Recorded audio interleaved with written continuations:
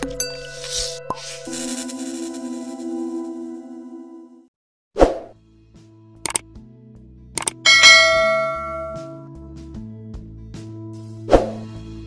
guys! May share akong recipe ngayon. So, ito po ang aking lulutuin ngayon. Bicol Express. So, ito po ang mga ingredients natin. Isang kilong pork liempo. Isang cup na coconut milk. Bagoong onion, garlic, siling labuyo, at saka half cup of water.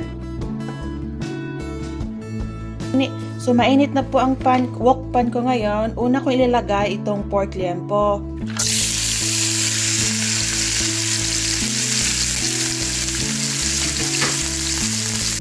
So, ito na po ang looks niya. Stir fry ko lang siya mga about 2 minutes. So, now, ngayon ko pa ilalagay yung garlic saka yung onion.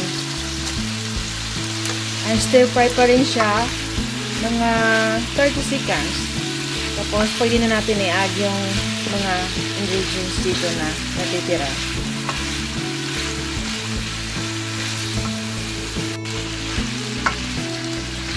I-add ko na ngayon coconut milk.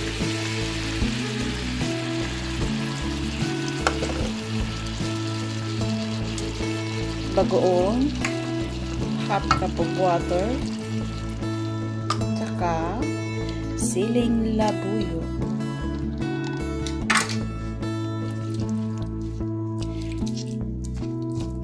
Spread lang na siya.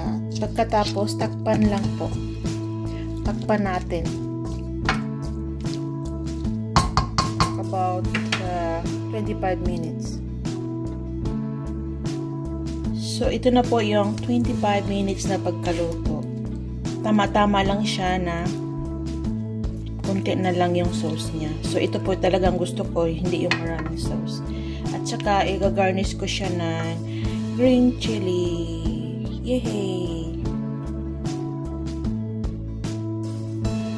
Tada! Ito na po ang aking Bicol Express.